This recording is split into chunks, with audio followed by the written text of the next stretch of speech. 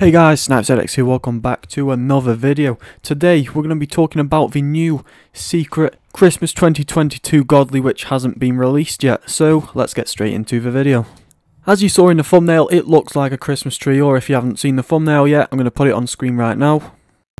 As you can see, it's very similar to the Xmas Godly what came in the Christmas update in about 2016 or 2018.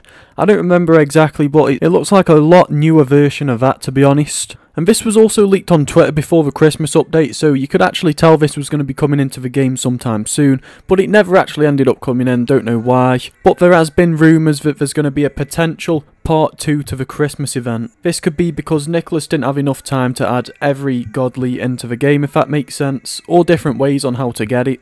Personally, I think it would be a really good idea if you could actually craft this godly. I think that would be amazing. But a part 2 event would be very, very nice for this Christmas update.